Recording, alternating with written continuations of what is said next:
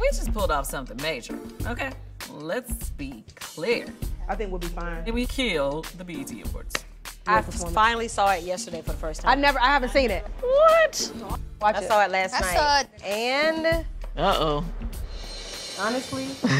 uh oh. Here it comes. I felt like LaTocha's mic was too loud. My mic? Your mic was too loud.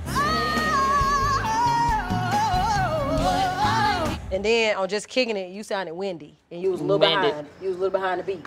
Every man wants a woman. For him and her can just go hang. Oh, it's, okay. Mm-hmm. Mink, you did your thing. Me did her thing. There's a boy.